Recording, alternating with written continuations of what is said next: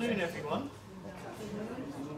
Uh, welcome to uh, what I think is rapidly becoming a bit of a regular January fixture here, the, the charities update from uh, IBB and Kingston Smith. Um, thank you for travelling to be here. I know that some of you have travelled small distances, other people quite large distances. Really appreciate you turning up. Um, very grateful also to colleagues here at IBB who have helped put this event together and also to our friends at Kingston Smith for making sure that it happened. Uh, it was Mahmood Ramji getting in touch last autumn that jogged my, got my attention and made me think, yes, got to make this carry on happening. There may be a few faces here today that are not so familiar to you. Um, there should be a page in among your handouts that describes the, the core members of the charities team here. Um, there'll be uh, two of them here we'll be speaking to you later on, Rosie and Moira. Um, but just by way of a brief introduction, my name is Paul Rideout. I joined IBB uh, nearly six months ago, was the tail end of August last year. Uh, and I came here to head up our charities practice. Uh, Peter Burnett, who is very much the founder of the practice, is still around in a consultancy capacity but he's managed to go on holiday for a month, so he's not with us here today. And then beyond our core team of charity law experts, we have, um, we have a lot of other specialists uh, who look after our charity clients in other areas. So we have property lawyers, we have employment lawyers, um, we have people who deal with disputes, we have people who deal with uh, construction, immigration and so forth. Um, I know that some of them are in the room here today. There will be others who will join us for drinks afterwards, so don't feel that your questions should be limited only to charity law and regulation. And just one or two housekeeping things. We're starting a little bit late, but we're going to try to limit our spiel to about an hour in the hope that we can then have a bit of time for questions and answers at the end. Then we'll break for drinks I don't know, quarter past, 20 past six, see how it goes. Um, and then I think proceedings will probably pretty much wind up about an hour after that. Um, we had a, sort of last minute planning meeting this morning where I was told that there are no fire exits today, but that was a mistake. What was meant was there are no fire alarm tests happening today. Uh, so if the alarm does go off, then we need to make our way out through the, the doors that we came in through out through the main entrance and will gather in what I'm told is the park, just on the other side of the road. It looks a bit like a graveyard, but it's not, it's a park. um, beyond that, I don't think there are any other housekeeping issues. Um, I probably don't need to say anything about mobile phones. Anyway, before I launch into the, um, the legal stuff, just a quick word about IBB. A whole load of words there, which will be in Thinker in your handouts. I'm just going to say a bit about IBB from my perspective. As a new arrival, I think it's quite potentially quite useful for you to hear about my impression of IBB. I joined, as, as I say, at the end of August. My first impression was that it's a, it's a friendly and positive environment. Uh, people seem to enjoy working with the clients that they advise, and they enjoy working with each other. And that's more striking than it, than it has been in other firms where I've worked. Another thing that I really like is that we do allow each other to take time to get to know the organisations that we advise, listening to what their concerns are, learning about their business, and getting to know the people as well, finding out what people want so that we can, we're then better placed to help them to achieve that.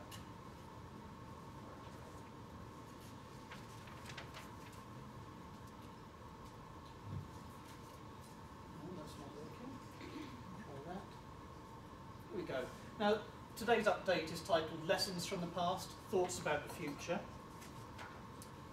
In essence, it's going to be a, a rundown on what's happened over the last year and what none of us know about next year. The programme is going to be, I hope, fairly light in terms of technical content. Well, I'm not too sure about the account. I think the accountants might, they'll talk to you about FRS 102, but that's fine.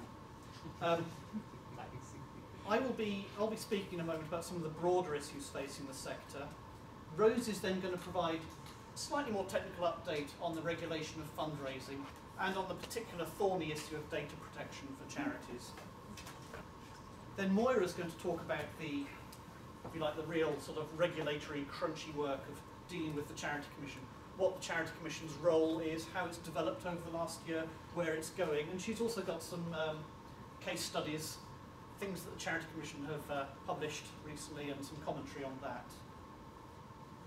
It'll then be time to hand over to Luke and Mahmood. I'm good. I hope it's okay. I'll, I'll leave you guys to introduce yourselves in more detail further down the line. Now, to talk about how the charity sector is feeling. Charities have continued to hit the headlines for another year, and generally for the wrong reasons. In particular, there are arguments about how charities should behave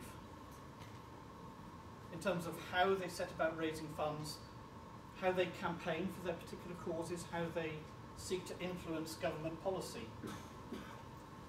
whether they're becoming over professionalised, whether they're paying their chief executives too much. And it's not surprising that with those sorts of arguments rumbling on, we've seen public trust and confidence in charities take a further nosedive. And according to the, the Populus survey, which is carried out on behalf of the Charity Commission every two years, um, the, the score has dropped from 6.7 two years ago to 5.7, which I kind of assume is out of 10, but I'm not entirely sure. But um, what I think is really telling is that the Populus report includes some quotations about attitudes to charities, to some extent misconceptions about charities. So people are quoted as saying, more than half of the public agree that they know very little about how charities are run and managed, and this, in turn, makes them question the decisions that charities make. That's quite odd.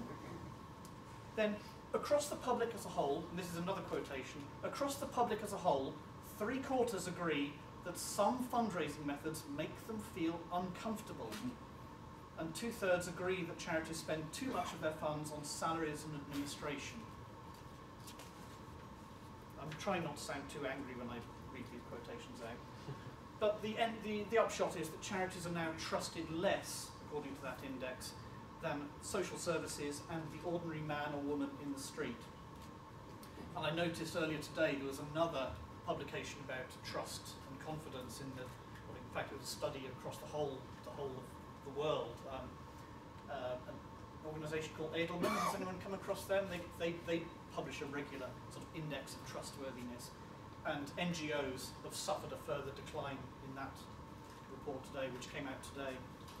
And faced with this level of mistrust, misunderstanding, it's perhaps not surprising that the NCVO has uh, recently launched a, a, nice, informative little website, or do we call it a micro website? I don't know. I look to you for a very specific reason. It's called How Charities Work, and it's partly funded by our friends at Kingston Smith, and it's seeking to debunk some of the myths and misconceptions about charities and how they operate. So I'm not surprised that that's the sort of defence mechanism that the sector is having to resort to to try and deal with these attitudes. But at the end of the day, charities, regardless of their size, all do operate in an ever stricter legal and regulatory environment. We'll be hearing more about that from Rosie and Moira shortly. Charities do therefore need to take more care than ever to stay within the rules and to follow best practice. And that's a kind of professionalism that I think we all ought to applaud. And it's no longer sufficient for charities to muddle on through in an amateur way in the hope that they'll be forgiven for being slightly inefficient for them and forgiven for their mistakes and oversights. And again, in a, in a challenging economic environment, no charity that relies on voluntary income can ignore the need to find smarter ways to chase down their slice of what is effectively a, a finite pool of donors' funds. So on the whole, I believe we should be pleased to see charities taking a more professional stance. with trustees taking their legal duties and responsibilities very seriously and getting the most out of the limited resources available to them. But perhaps one principle that is in danger of being overlooked here in this drive for sort of greater professionalism and commercial acumen um, is fundamental respect for the act of charitable giving. That, that act, that altruism is so fundamental to the concept of charity. I think it's one area where the sector or parts of it would benefit from a much sharper focus, particularly in the area of fundraising, which we'll hear more about. We already have massively improved governance in charities, and the Charity Commission's guidance on that front is generally to be applauded. Trustees are taking their duties uh, very seriously these days, and that, that bodes well for the future. And there will always be some individual problem cases. Well, there's no getting away from that. There will be occasional charity scandals that hit the, hit the press. But we, I think if we can crack the challenge of fundraising practices, I really think we can start moving in the right direction to try and regain some of that trust and confidence that's been lost over the last couple of years.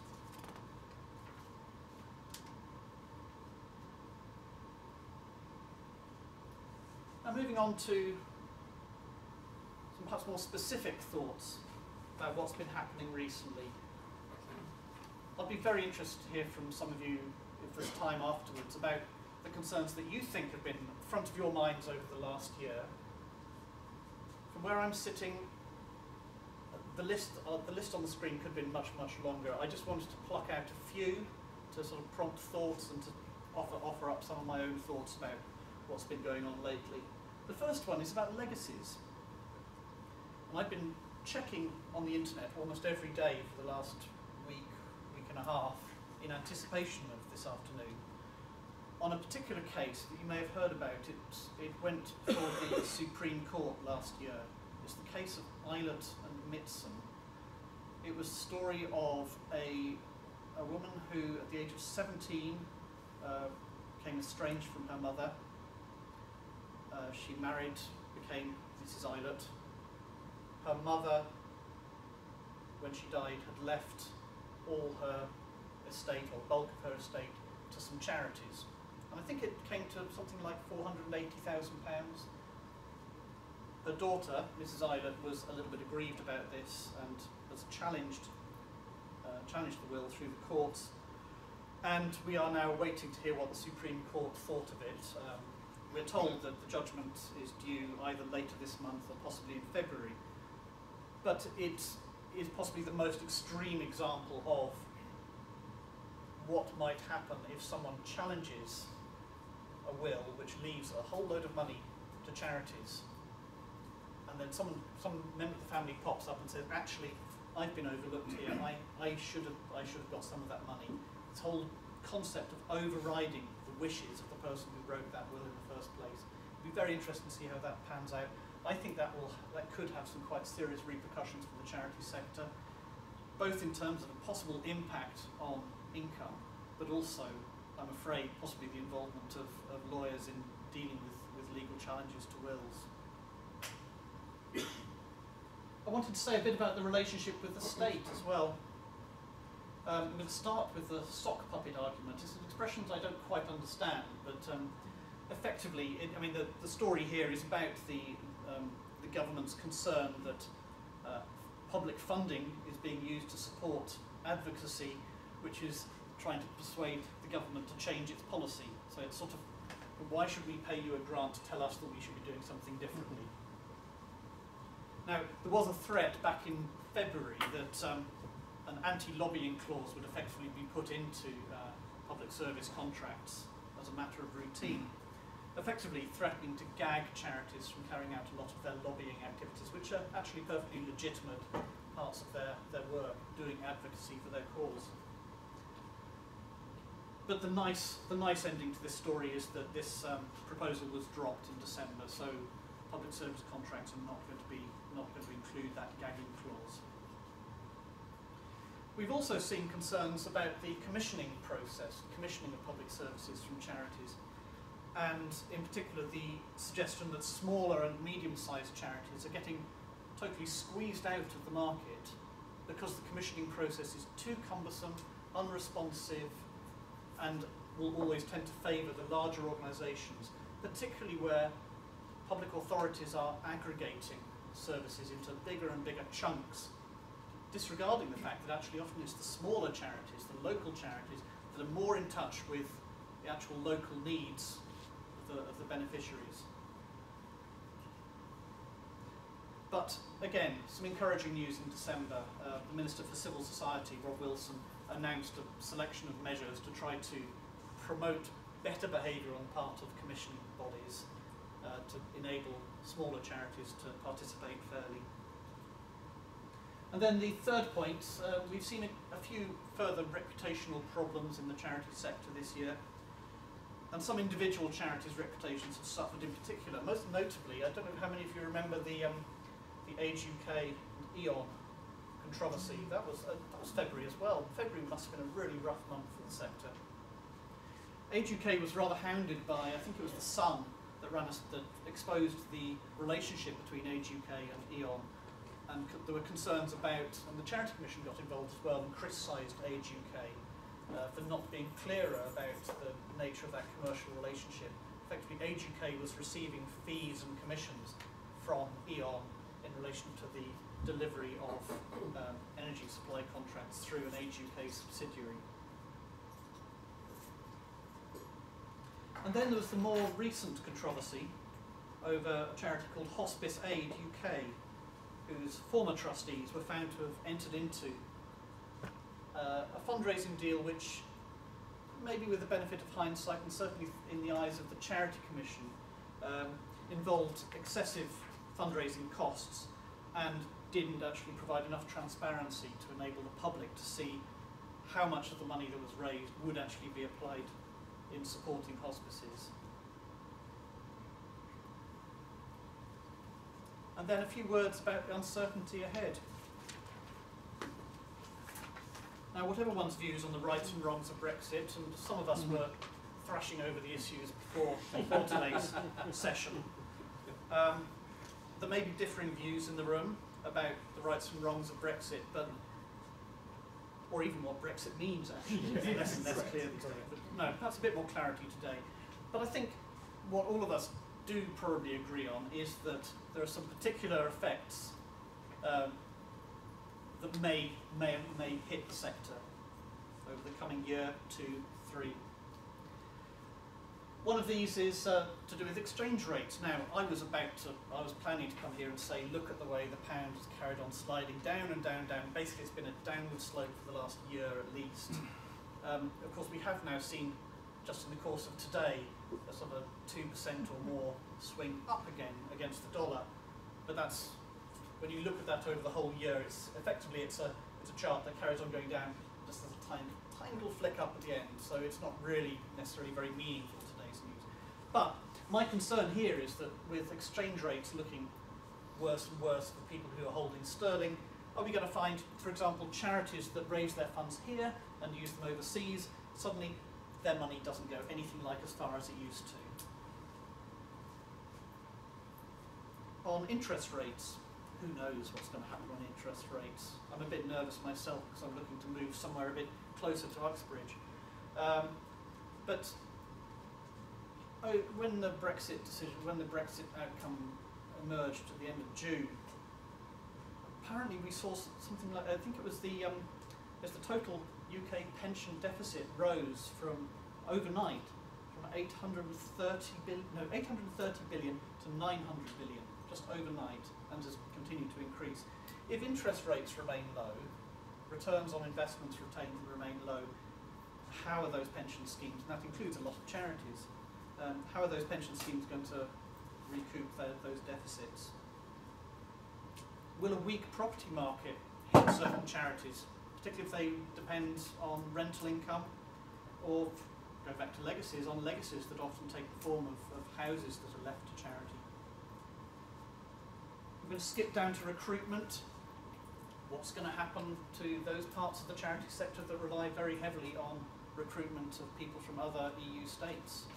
In the care and nursing sector, I think we have something in the region of 84,000 citizens of other EU states who, um, whose status may well be in question. And that's a sector where there are already serious recruitment problems. On the EU funding side, the moment, I think it's estimated there are EU funds available to the tune of 13 billion pounds, which charities in this country are eligible to apply for. What's going to be what's going to happen in two years plus time? Is that source of funding going to disappear? I'm going to mention taxation very brief. It will be very brief. Um, one point here is that over the last 10 years we've seen steps towards harmonisation of charity tax relief.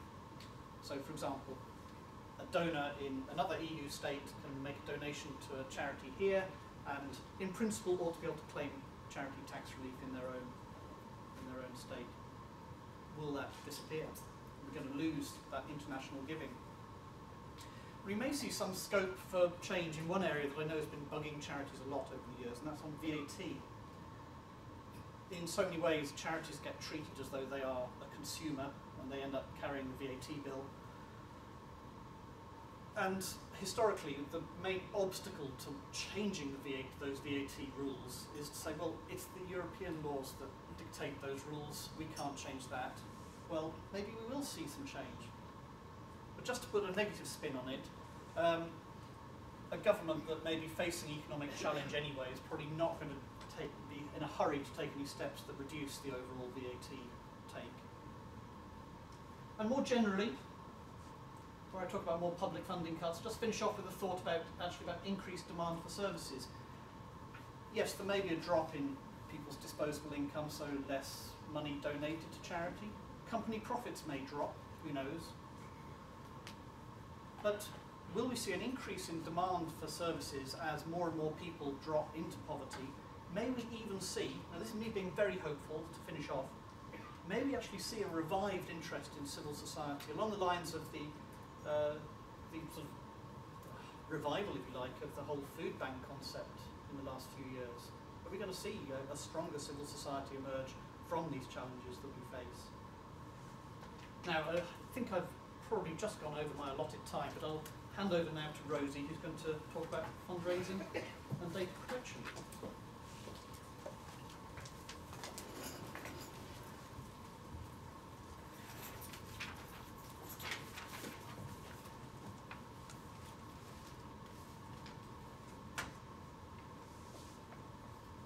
Thanks, Paul, and hello everyone. As Paula said, I'm going to talk to you about the developments in the world of fundraising with a focus on the past six months. I'll then talk about key changes in the data protection landscape, both which have already happened and will be happening shortly. These topics are closely linked as it's essential to follow data protection law whilst fundraising as the personal data of donors is processed. Kicking off with fundraising, as we all know too well, it has yet again dominated charity news in 2016.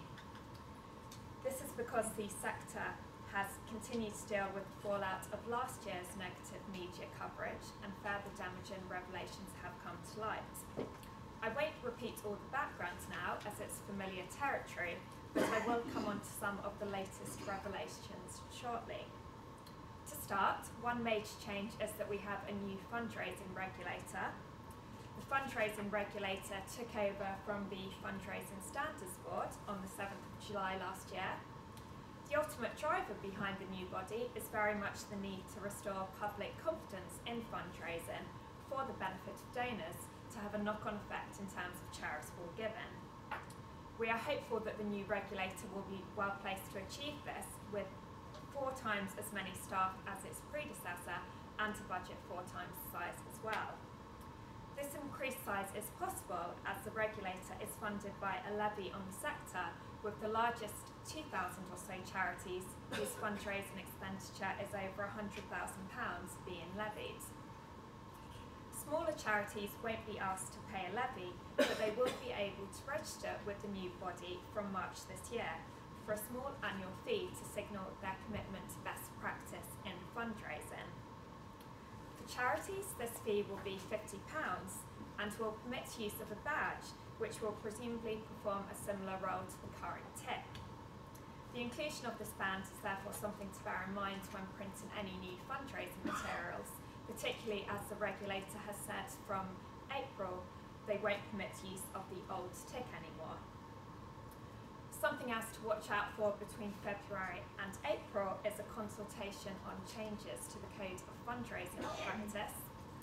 This is required as the new regulator simply inherited the code when it went live, and so of course watch out for the new code itself.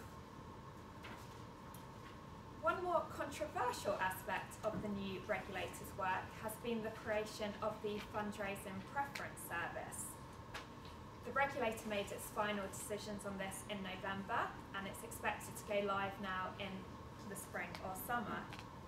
It's clear that the service will enable members of the public to register that they no longer want to be contacted by specific named charities for fundraising purposes by resetting their fundraising preferences.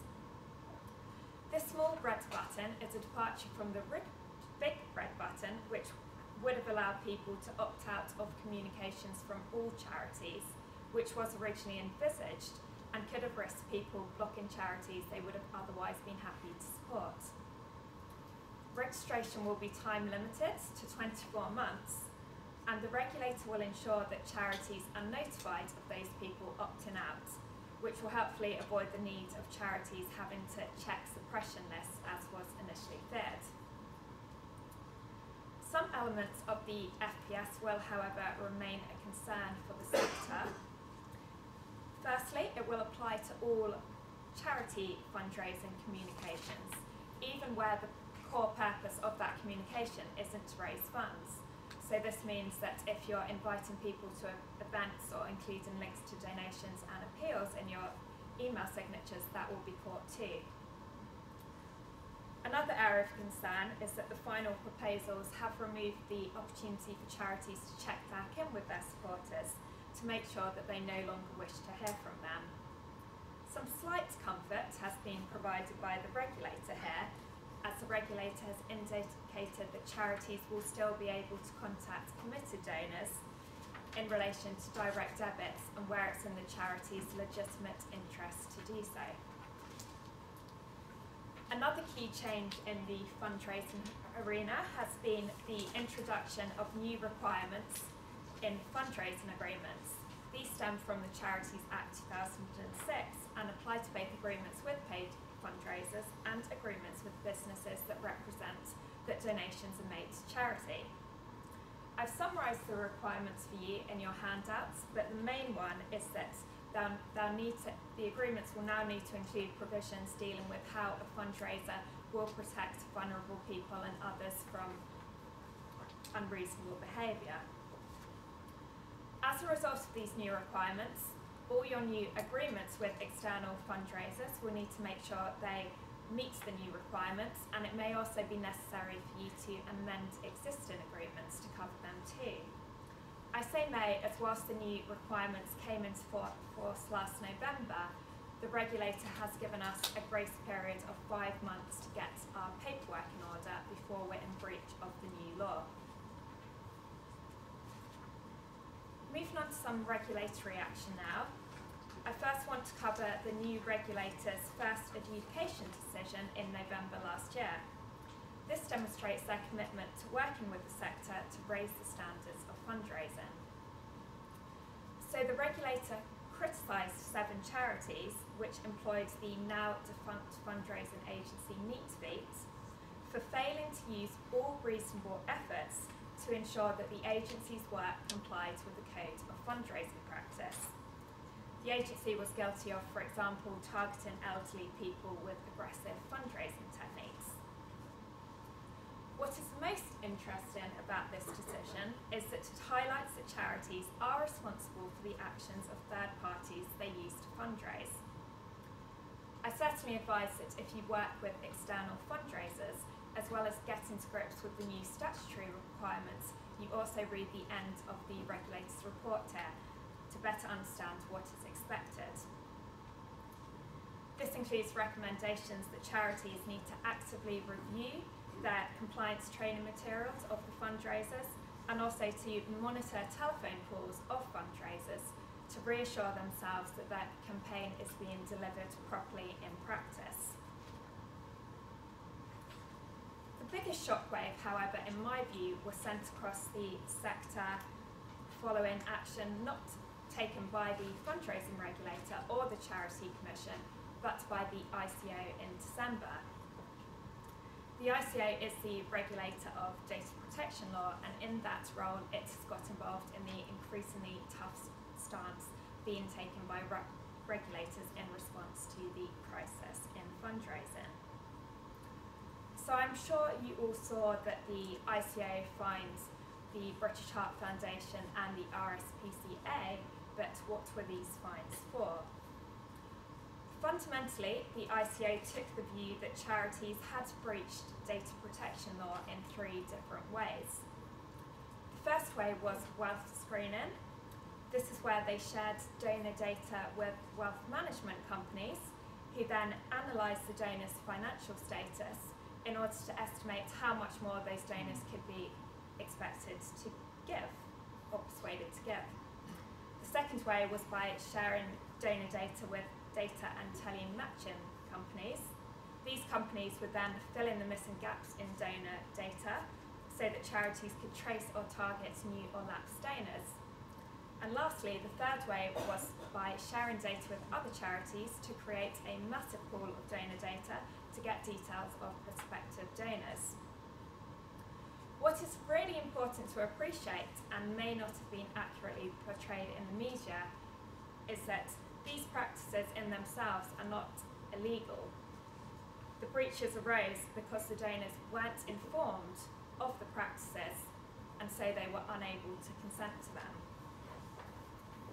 It's important to acknowledge that the ICO is also sending out a couple of stern messages to charities here. One is that fines imposed on the sector will no longer be limited to data security breaches the other message is that these practices, which had in fact been commonplace since the mid noughties in the sector, will now not be tolerated without donor consent.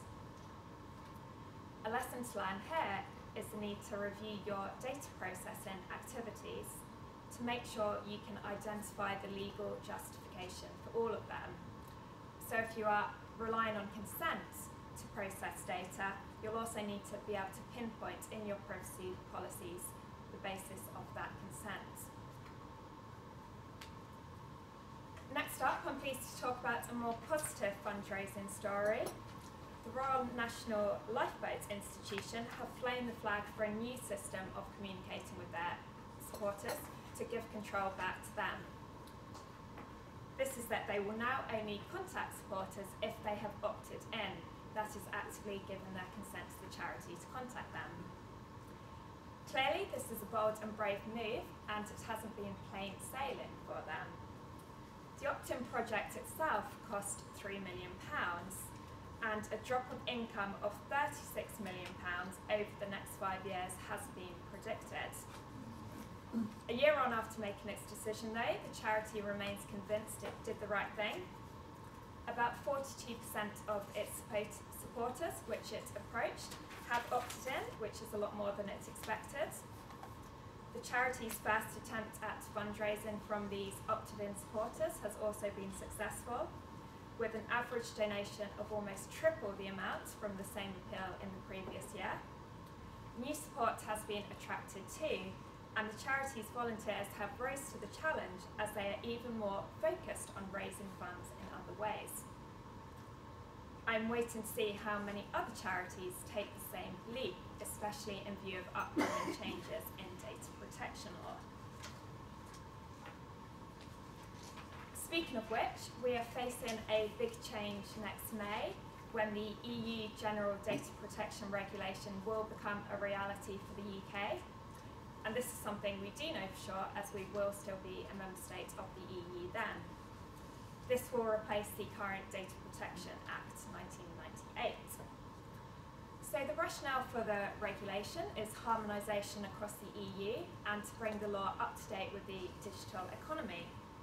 At its core are enhanced rights for data subjects, which means more onerous rights on data controllers and for the first time direct obligations on data processors. I unfortunately don't have time to talk about all the changes today, but I will run through some of the main ones.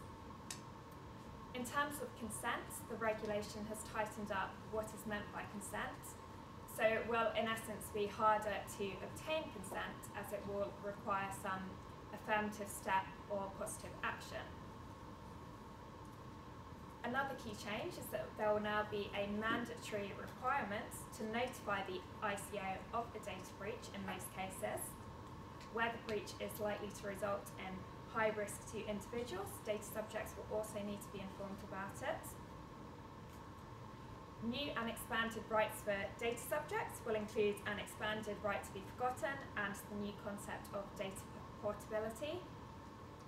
And the enforcement powers of the ICO will increase significantly with potential fines being much more severe. So we all have less than one and a half years to become Hmm. GDPR compliant. What steps should we take now to hopefully make the process relatively smoothly? Again, I'll provide you with an overview now with some top tips. You'll see that some of these recommendations I've already covered, which highlights the need to really prioritise data protection now. Firstly, I recommend that you make sure that the key people and decision makers in your charities know that data protection law is changing. They need to appreciate the impact that this is likely to have and to build in the resource implications to prepare for the new elements and also, of course, to raise staff awareness of the new rules. As well, I advise you to conduct a personal data audit this is to document what data you hold, where it came from, who you share it with, and the legal justification for all processing activities. You should also review how you are obtaining consent to consider if you need to make any changes there. Another action point is to make sure that you have the right processes in place to be able to detect and to report a personal data breach to the ICO once the data breach notification comes in. And it's also a good time to make sure that you have all the procedures in place to ensure that they cover all the rights that data subjects have, such as the right to be forgotten, that is deleting their personal data. And finally, there's a slide in your handouts with some pointers on data security. As once you know what uh, data you have, you'll obviously want to do all you can to protect it. Thank you very much. I'll now pass on to Moira. It's all very scary, this regulation, isn't it? Yeah.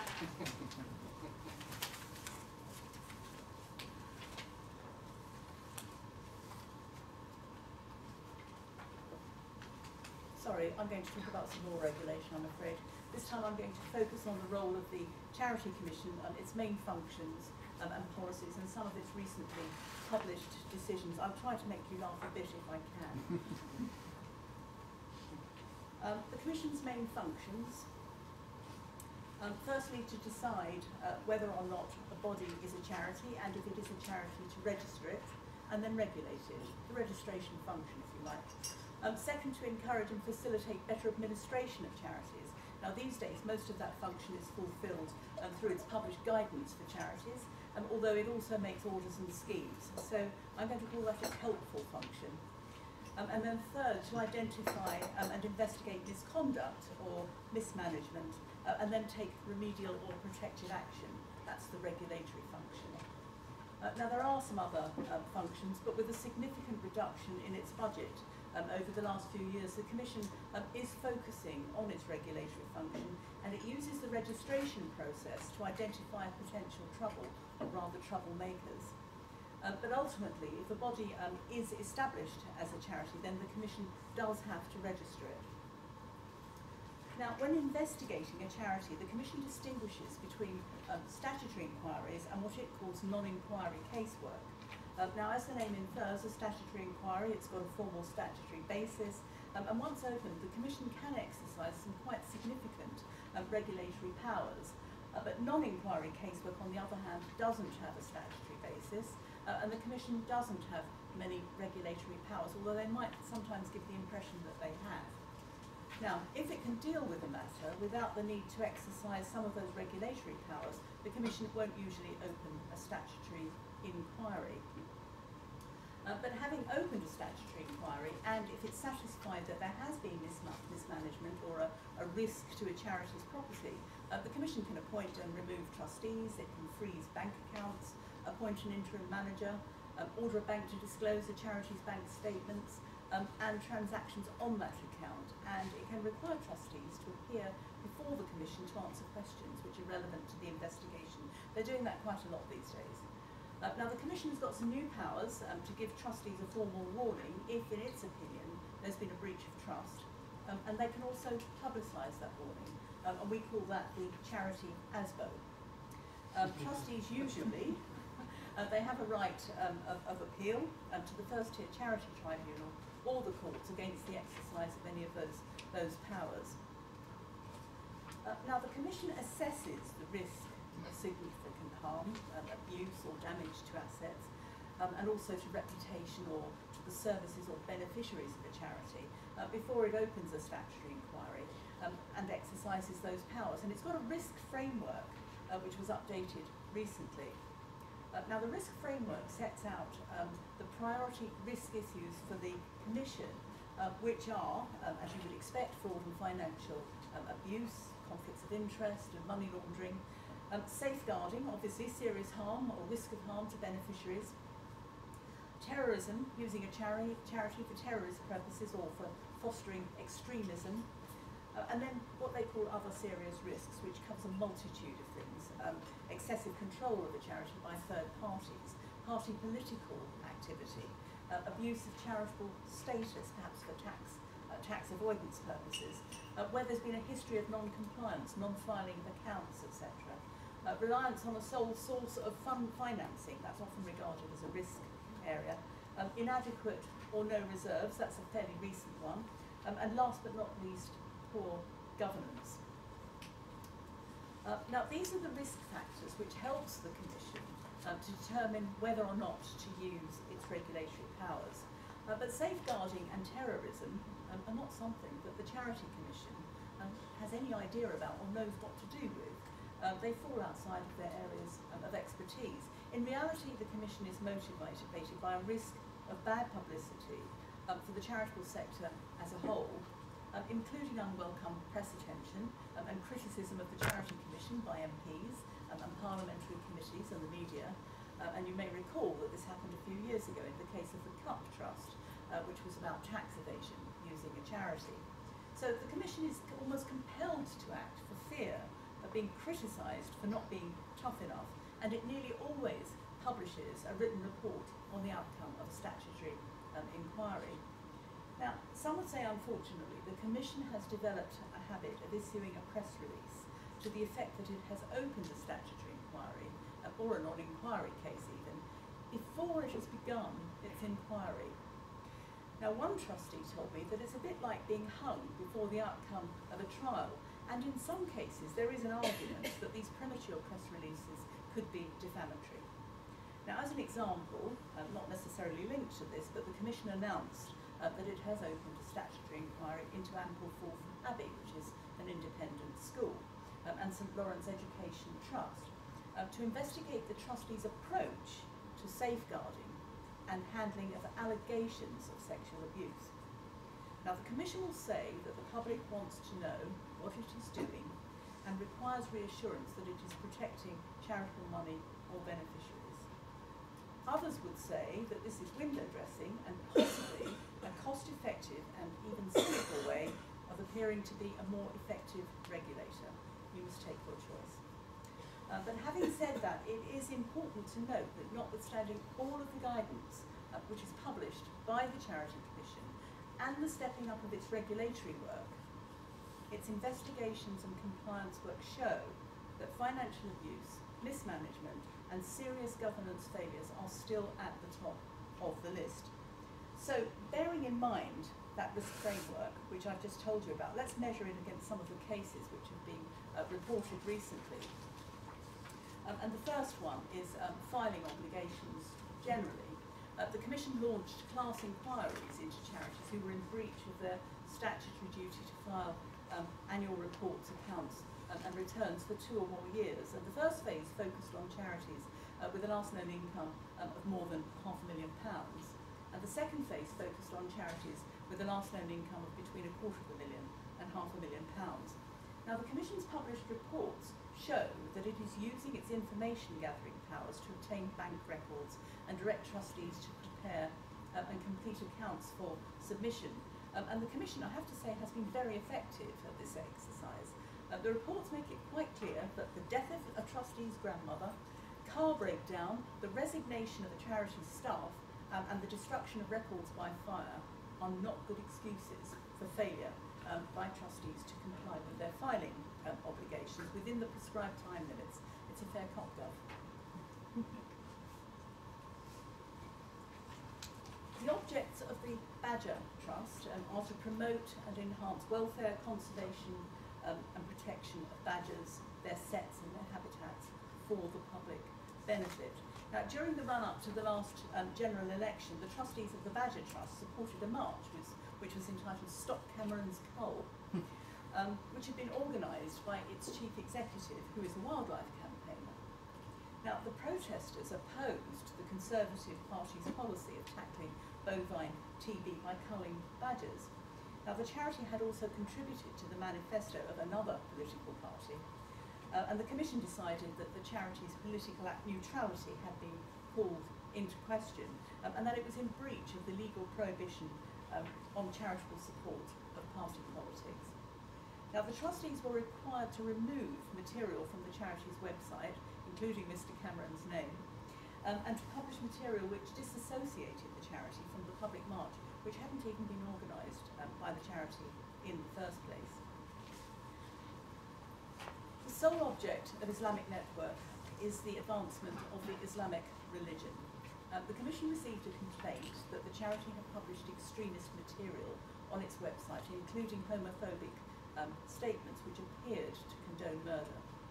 Now, the Commission found this material. It was hidden from view in archived historic web data. Uh, it transpired that the existing trustees had inherited this website from previous trustees and that these trustees knew nothing about the offending material uh, which had been put there by a former trustee um, of the charity. Uh, there were also some public events which had been hosted by the charity, apparently at which some speakers made what the Commission regarded as unacceptable comments, uh, and apparently there were a host of other governance failures. Now the Commission set the trustees an action plan. Uh, they were required to appoint additional trustees um, in order to comply with the requirements in the governing document. Um, and they were also required to prepare guidelines for public speaking at charity events. In other words, guidance on what speakers could and couldn't say. Um, they were required to prepare an operations manual, financial policies and procedures, all of which were absent, um, and to conduct appropriate due diligence um, of those with whom the charity was working to ensure that they were suitable partner organisations having regard to the charity's objects of advancing the Islamic religion. BITEC, BITEC's objects are to advance the education of the public, in particular by the provision of vocational training. Uh, but the Commission found that there were significant discrepancies between the charity's reported income and expenditure and the actual movement of funds um, on the bank account over a four-year period. Approximately a million pound of income and £700,000 of expenditure uh, had not been declared in the accounts. Uh, two of the trustees were also directors of a company which was the landlord um, of premises occupied by the charity to which they paid a significant amount of money. But there was no charitable activity this charity, or at least not of the kind which fell within the charity's um, objects. Uh, they were invited to the Commission to explain uh, what they were doing with these premises and they were unable to do so. Conflicts of interest hadn't been managed, there were significant weaknesses in the charity's governance um, and the Commission ordered them to get their act together and to improve, improve their performance. um, I don't know if anyone has read about the ten-part temple of the, of the Jedi Order. It was reported uh, that in the replies to the government at the last census on religious beliefs, an extraordinary number of individuals reported that they were Jedi Knights. Um, fans of the Star Wars films may well remember this, uh, but some people have taken it further, um, adopting some of the principles of Jediism in the film to perpetuate and define Jediism as a religion based on the observance of the Force, um, the ubiquitous and metaphysical power that a Jedi, that is a follower of Jediism, believes to be the underlying fundamental nature of the universe. Now, the Temple of the Jedi Order applied to the Charity Commission for registration as a charitable incorporated organisation uh, last year, and the purposes with which it proposed to be registered were to advance the religion of Jediism for the public benefit worldwide, uh, in accordance with the Jedi doctrine, um, and to advance other. Now, the Commission decided that it wouldn't qualify for charitable status as it wouldn't be established for the uh, advancement of religion or the promotion of moral and ethical improvement for the benefit of the public, both of which are um, established charitable purposes.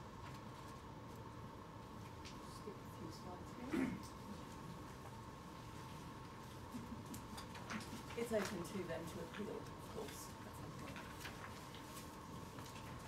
Thank you. Uh,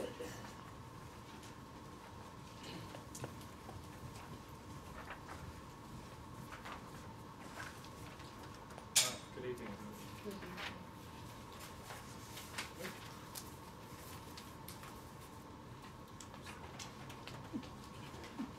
There we go, it was working earlier. Right, my name is Mahmood, I'm a partner at Kingston Smith, who are a firm of accountants, for those that don't know. I'm based at our Heathrow office, which is at the old vinyl factory just outside Hayes and Harlington Station. Uh, Kingston Smith, we're, we're a firm based in London and the South East. We've got six offices in and around London, including in the city. Um, and a number of my colleagues, Luke's here at the front, and a number of my colleagues are in the audience, so do feel free to come and talk to us afterwards. So, what am I going to talk about? I'm going to talk, spend the next 10 minutes or so, I'm conscious of time. Um, I will spend the next 10, 12 minutes or so talking to you a little bit about the accounting implications of charities that have happened in 2016 and some of what we've got to look forward to in 2017. So, 2016. 2016 was the year of the new SORP. Many of you will have spent the year implementing. I think it's been um, it's been fiddly. I don't think we've had lots of dramatic changes, but most clients that I speak to have, have talked about how fiddly it has been getting all the additional disclosures in. And unfortunately, um, it's going to carry on in that vein, I think, as, as things change. Speak up just a little bit, because you messed up. Oh, am I? Right. I'll talk a bit more. For smaller charities in 2016, you've been able to follow the FRSSE SORP, which has been uh, something in place for, for a little bit of time. Unfortunately, Sorry. Sort and FRSSE. ah, okay, Thank you. yeah. So SORP is the Statement of Recommended Practice. That is the main standard that, that account, the charities have to follow, which basically takes normal accounting legislation for corporate entities and converts it to. That's essentially what that does. FRSSE is essentially a specific document for small charities. So FRSSE was financial reporting standard for smaller entities. So really, what that meant was that there was a year's rep- reprieve for smaller charities. The accounting for 2016 was relatively straightforward. For 2017, they'll have to go through the changes that the larger charities went through in 2016. One of the more helpful um, changes in 2016, certainly for a lot of smaller charities, was that the audit threshold was raised to £1 million income. And that took a number of smaller charities out of audit scope. And, and where there were group situations, the need to actually consolidate a set of accounts where a, there's a charity and a subsidiary, again, that, that threshold went up to £1 million. Again, that did reduce the burden for, for a number of, um, number of smaller charities.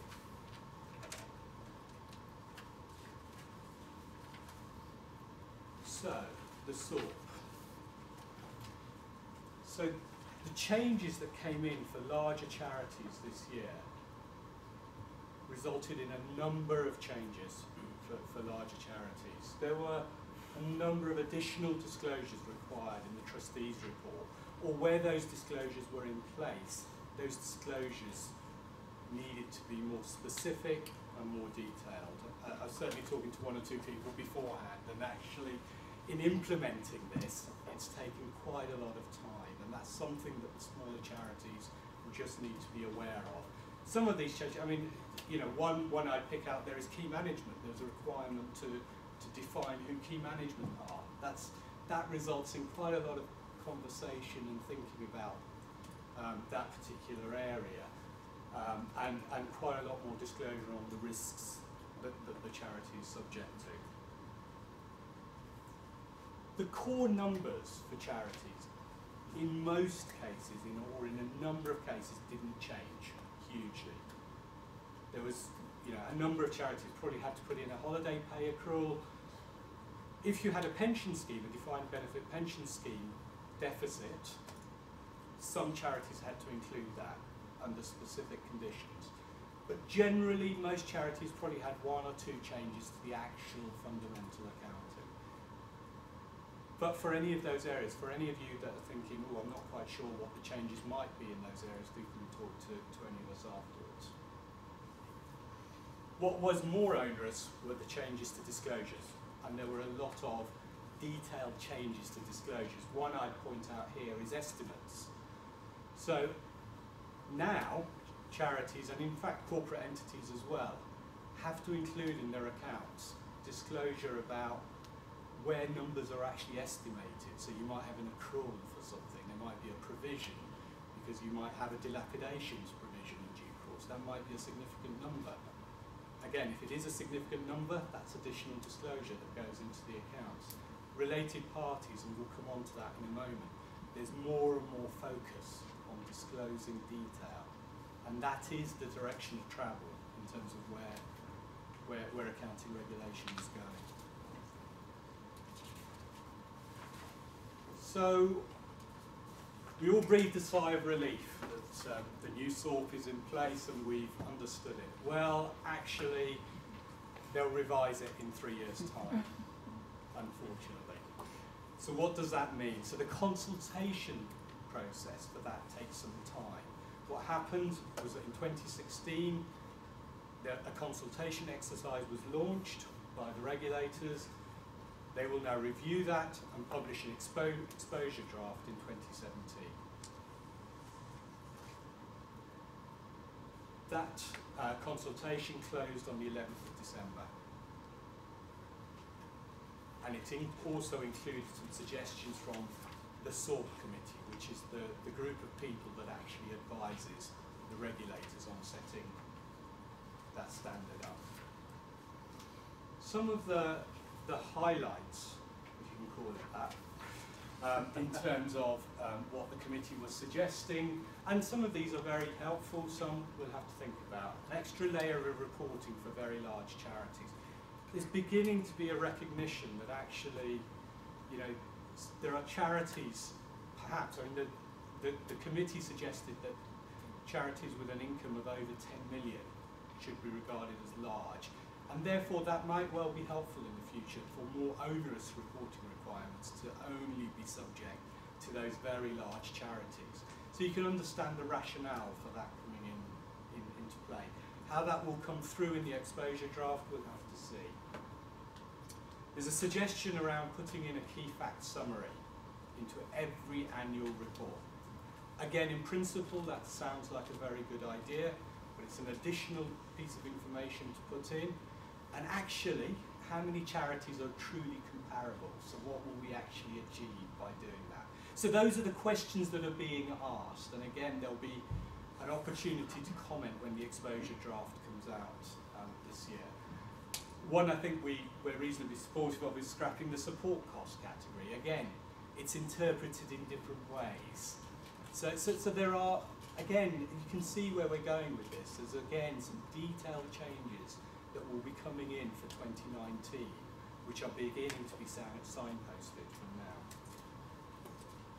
So as we've said on the slides, we'll get the new detail on that, um, the exposure draft for that this year. The regulator put its own thoughts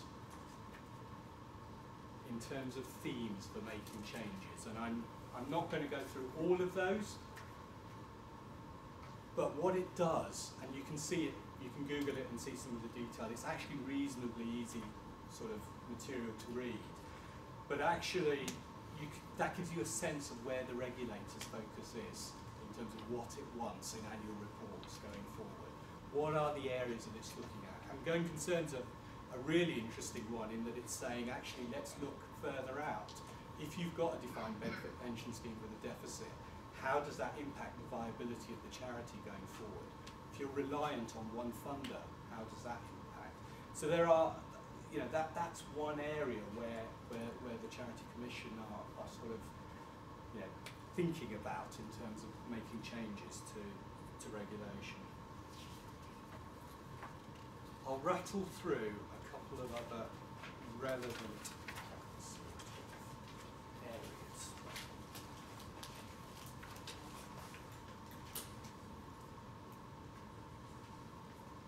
If your charity has a subsidiary that gift aids all its taxable profits up to the parent, which a number of charities do, where they put, where the trading is, is takes place in a subsidiary, talk to your advisors or to us. Because it's possible, because of revised guidance issued by the Institute of Chartered Accountants, that some of those might be problematic. I won't go into lots of the detail here, do come and talk to us or talk to your existing advisors because actually you'll have made it, you'll have put some gift aid through from the subsidiary to the parent two or three years ago. That might actually need to be tweaked to make sure that it's actually legal.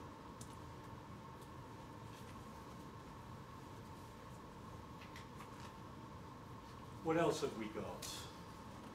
The regulator issued another consultation this year and what the regulator wanted us to do um, is there are already requirements on auditors to report matters to the Charity Commission.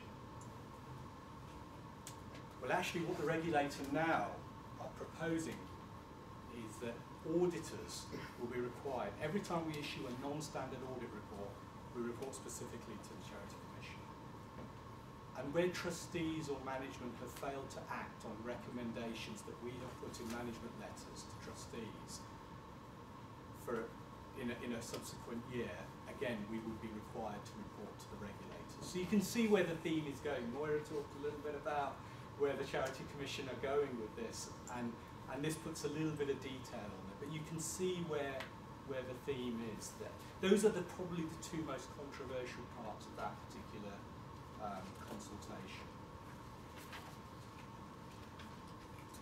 Smaller charities, those that are not subject to audit, are subject to something called independent examination, generally, unless they're very small.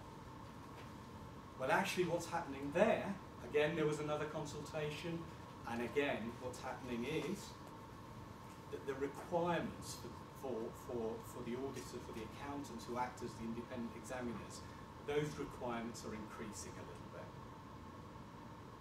What does that actually mean? It means that as independent examiners, for those smaller charities, we'd have to do a little bit more work on going concern, we'd have to do more work on related parties and conflicts of interest. Again, Moira referred to, to conflicts of interest. Actually making sure that conflicts of interest have been considered and related party transactions have been properly authorised will now come into independent examination as well. So you can see that that regulation is filtering down to, to the smaller charities as well. So it's just things to be aware of um, if, if, your, if your charity is subject to, to independent examination. My final two slides. are- is- It's not. You got 615 cut off for? right, well, you've got your slide pack. Yeah, so I suggest we, we look at those. Thanks, Lloyd. Yeah, sorry, mate. I'm breaking. The Common Reporting Standard is a standard that's come in um, globally to um, to help tackle tax evasion. If your charity is sub, has more than half of its income from investment income and is subject to now working, thank you. I think that's what you call user error. Um, so if 40% of your income, over 50% of your income is from investments, and part of this is managed under a discretionary mandate by a financial institution, essentially if you've got lots of investment income in that charity, you may be subject to the common reporting standard. Now, the rules here have been shifting over that, and the revenue have been interpreting it in a different way. So we've put some, some points on the, on, on, on the two slides. But essentially, if you're a company limited by guarantee, it's likely that you've got no reporting. But if you are caught by the common reporting standard, there's going to be quite an administrative cost. And, and as it says there, the first year was 2016. You have to report to the revenue on that by the 31st of May. Again, talk to your advisors or come and talk to us. Over to. I haven't broken it. Haven't, it still seems to be working. Well, good evening, everybody. Um, those of you who don't know me or I didn't manage to speak to you outside, that is myself, Luke Holt. Uh, I'm a partner in the not-for-profit group in the city office. I've got two tasks by the look of it, uh, to cover my quite mammoth slides in the next four minutes, and secondly, to try not to walk the floor as I'm being filmed there, and those of you who've seen me speak before know I like to take a bit of a wander around. The other negative piece of news is what am I going to cover? We're back to fundraising. Rosie talked about fundraising from a legal point of view, what's happening with the fundraising regulator. Where I'm going to take it is effectively your charities, your organisations. What does it actually mean? What's changed in fundraising? What do you need to go away from here, think about, and what's going to change in 2017? That's both internally within your organisations, talking at board level, at trustee level, but also what are you going to start reporting externally within your financial statements? Yes, we're talking about more, as Mahmood said, more in those set of financial statements, uh, and the Daily Mail could well have a field day in 2017 with some of what is being disclosed, which we'll come on to. Let's not spend a lot of time on here. I think many of you have seen these headlines. We don't need to go back over 2015, the Etherington Review with regards to fundraising, uh, and the absolutely horrific year that fundraising had in 2016 a number of improper practices, I think that's putting it politely, a significant number of improper practices, all the way through from data sharing that we've spoken about, through to poor old Olive Cook, who, uh, who passed away in Bristol. It couldn't continue as it was. The government looked at one point as if they were actually going to get involved, and the lawmakers were going to become involved, and fundraising would be taken away from the charity sector, and we would have legislation that would manage that practice. Sir Etherington waved his magic wand, pulled a few strings, and we came back to one last chance. And believe me, standing here, it really is one last chance. Where we get to is the fundraising regulator. We're still managing our own fundraising, we're regulating ourselves, but the fundraising regulator is here with some teeth. And as Rosie said, we've already seen the ICO and the fundraising regulator issuing guidance, issuing reports, and some pretty hefty fines. You don't want to be next. Just very quickly there, we used to have a tripartite arrangement with those three organisations, the FRSB, the PRFA and the IOF. It was the IOF who managed the fundraising code, and as Rosie said, that has moved over to the fundraising regulator. The IRF and the PRFA actually merged. They still exist, but they're more a membership body for fundraising. They're there as the voice of fundraisers to try and rein the fundraising regulator in if they need to, and actually report back their opinion. So they're both still there. Don't uh, let the fundraising regulator believe that, um, that they're not. And you will have seen that logo. You will have seen the website that is there and you'll see a lot more of that logo in 2017. Where are we now? I'll dive through that very quickly because Rosie covered the majority of that. That big red button idea, it's a shame that that has gone from one angle, but actually the small red button, as Rosie put it, of people being able to log on the website and just say, this charity I no longer want to hear from. The only thing that didn't come out in the finalised guidelines that came through is actually, is it all communications? is there going to be another level of reporting to say, I don't know, British Heart Foundation, and then another level of, I want to hear about this, I don't want to hear about this, I don't want to hear about this. The fundraising regulator is working with um, the IT bods in the background, it's going to come back to the complexity of that model and as to how we go forward. I imagine we'll probably just end up with an opt-in, opt-out model, but watch this space for, for 2017. Now, I was going to have a quick quiz. Feel free to quiz me afterwards, but effectively, this just highlights what we've got from a complexity point of view in the charity sector.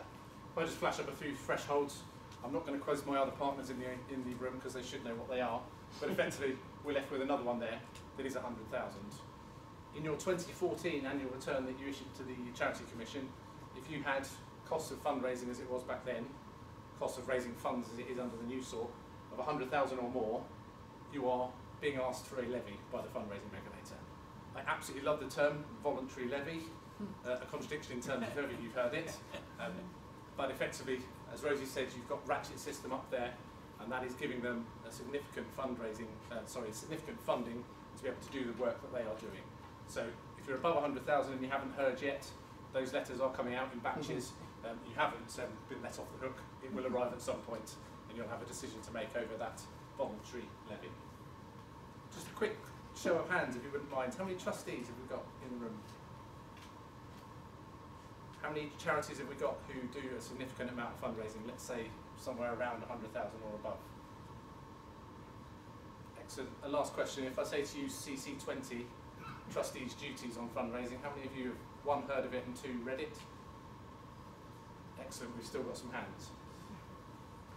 Effectively, that is CC20. It is the Charity Commission's reaction to everything that happened in fundraising, the fundraising regulator, and actually what does it mean for your charity? Uh, and the long and the short of it is, if you are a trustee, the honest answer is the buck has always stopped with you. You are the overall management and guidance of that charity, and you should have had control over fundraising, and you should have known if you were doing these practices, if you were working with Neet Feet, if you were sending 70 communications a week to Olive Cook. But we all know actually what happened in a small number of charities was the numbers on fundraising came back, if income was bigger than cost, fantastic. A fundraising strategy was developed and it was it went forward over the few, next few years. Those practices are gone and that isn't going to cut the mustard for 2017. So CC20, I don't often say it, but it is an excellent read um, from the Charity Commission guidance documentation. It comes back to six principles. On the right hand side, we've got the, the KS English version, if you want to call it like that, but let's just dive through them quickly. Plan effectively, not rocket science, but if you're doing a big fundraising project, plan who you're going to use, what your cost expect to be, and what your outcome is. Document that, they can't argue that you've thought about that one. Supervise your fundraisers. That is one of the biggest of the six points that really wasn't happening. When you're using commercial participators or professional fundraisers, monitor them, have KPIs, have communications, and make sure that's making its way back to trustees and board level to talk about do we need to change this? Are they still doing the right practices? Complying with fundraising law and protecting your charity's reputation and assets, I think those two are pretty self-explanatory. Follow recognised standards, that's a signpost to the fundraising regulator and the code of fundraising. And then be open and accountable. Come on to that in your financial statements. But actually, none of those six there, as I said, are rocket science. But somewhere along the line, we've lost that link between fundraising and what you should be doing under CC20. So let's try and rejoin those and for 2017 onwards actually think about fundraising and turn the table back around to people donating and for the public benefit that all of your charities are doing. Charities Protection and Social Investment Act 2016, again Rosie referred to one area, section 13, that had these new requirements for when you're working with third parties that had to be put into every agreement and you've got that period of grace until April 2017. The other part, 162A, apologies for all the terminology, but it effectively is fundraising information that is required in annual reports for years ended 31st of October 2017 and onwards. So you're sitting here thinking, that's the set of accounts that I'm in at the moment. What are those requirements that I need to put in? First thing to say is it's audited charities only. So uh, a million or above if you're English registered, half a million or above if you're dual registered in uh, Ireland, Northern Ireland or Scotland. One of the areas they're asking you to report in this trustees report at the front that is ever growing larger. You're approached by charities in connection with fundraising activities. That goes back to those six points of the planning, how we're monitoring it and how we're going forward. Whether the fundraising activities follow a regulated scheme or standard. Don't have to follow the voluntary code from the fundraising regulator.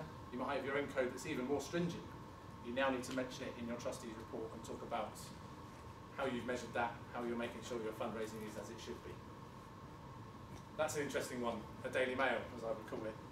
Any failure to comply with the scheme and the standard operated. It's there.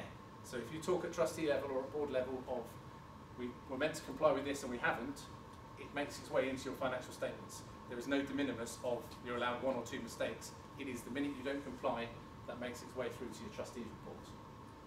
And that is the most paramount one of the six. There's two more on the next slide. Steps taken to protect vulnerable people and the public from unacceptable fundraising practices. The one piece that I would divert you to is on the Institute of Fundraising website. There is a, uh, a brilliant piece about um, giving fairly, I think it's called, or making fundraising fair. And it's all about if you do actually need to talk to people who are in a vulnerable position. If those are your main donors, and we're not saying there's anything wrong with that, it's how to do it properly. Excellent document, it's bedtime reading about sort of 15 pages. Take those back to your charities and think about if that's you from a vulnerable person point of view. And the last two, how they're monitored. We're back to the buck stops with the trustees, but you could have a subcommittee that then reports back up to the board. And the last one, which I think could be interesting, complaints received. I Said we're already in the year that you're going to first have to do this. Are you monitoring how many complaints you've had? Actually, it only says the number. You don't have to go into the details of what the complaints were. Because if you've got someone with an axe to grind who starts going against your charity, you, you may get a number of complaints. It's just the number, but it is still disclosed in your financial statements. What does that come down to? You've got to look at those points. You've got to have your systems in place to monitor them. You've got to have your processes to actually track those going through, and then you've got your disclosure in your financial statements. Take those away, have a think about it, uh, and as I said, Mahmood and I will be around afterwards for, for any questions. Let's dive in very quickly then to 2017 and beyond. Moira stole a little bit of my thunder here, but I'll let her off. I'm not involved with these charity requirements, I'm a trustee. Computers are satanic. Deadline day falls on a religious holiday.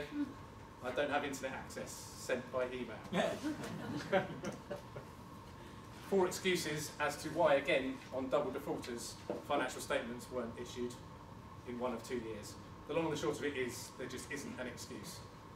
The interesting piece for me was all of these reports, or that's unfair, not all of the reports, but a large majority, when the Charity Commission went in and investigated, actually, submission of documents was the worst of their, uh, the least of their problems. We've had conflicts of interest, we've had um, problems with trustee boards, problems with legislation, and actually the charity being wound up. So, the bottom line is no more truthful than it needs to be. Don't let your charity be next. Know your deadline. You may have other deadlines with housing associations, uh, the SFA, HEFCE.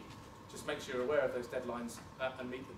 It's not rocket science, and I can't believe I'm stood up here saying it, but there was actually um, something issued from the Charity Commission this morning. I think it's three and a half thousand charities with a March 2016 year end have got till the end of January to submit documents that are outstanding. That's an eye-watering number. A lot of them will still get there, but it's still a huge number that are still working through that process. If you're one of them, make sure you're going to get there. Charity Commission to consult on charging. We've already talked about the levy from fundraising. There's another one coming down the road.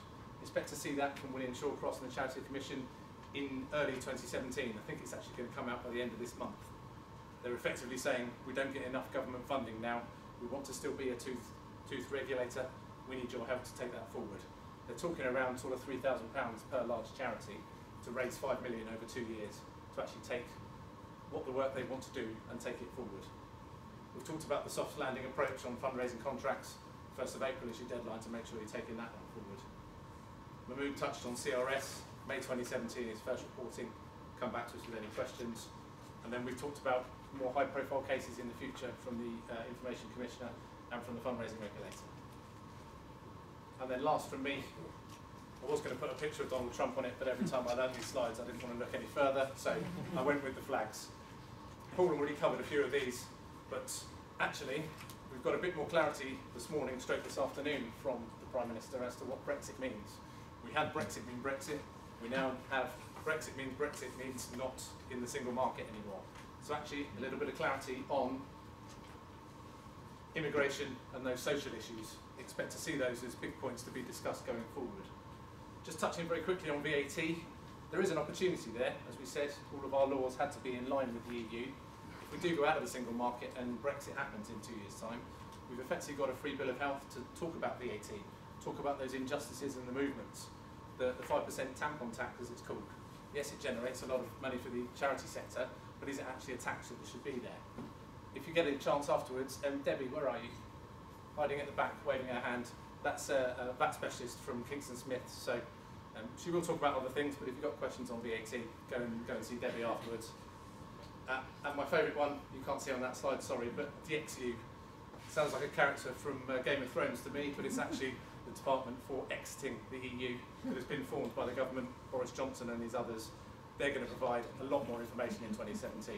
They've told us it's not going to be a running commentary, but expect to see more on the charity sector on a number of those issues, and expect me to be standing here next year giving you a bit more information before we move to 2018. That is a whistle-stop tour from me, guys. You've got Mahmood and my contact details in your, in your papers. Other than that, let's open the floor for questions, and don't give them all to me, please. There's four people sat over there as well. Thank you very much. Who wants to start? Who wants to be bold?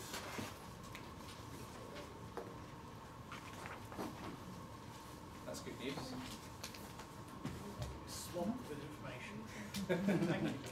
Well, I mean, if you don't have any questions now, please feel free to, to, to nab us outside. We'll be, we'll be around. Um, so, any technical questions for the accountants and general questions for the lawyers? Thank you, Paul. And um, no, thank you very much indeed. I mean, I've really just uh, thank you all. A really excellent turnout this evening. Uh, very nice to, see you all here. Uh, do come through and have a, have a drink, maybe a bite to eat, I think, and uh, have a chat, meet some other people. Thank you.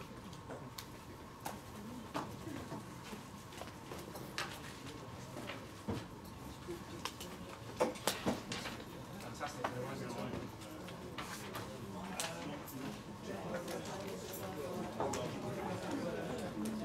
Actually, just before you before you go, I, I know s- some of you are already filling these out. It'd be really useful to have a bit of feedback on the event.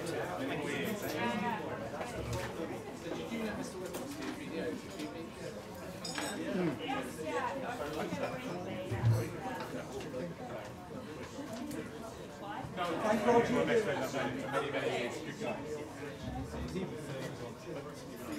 you.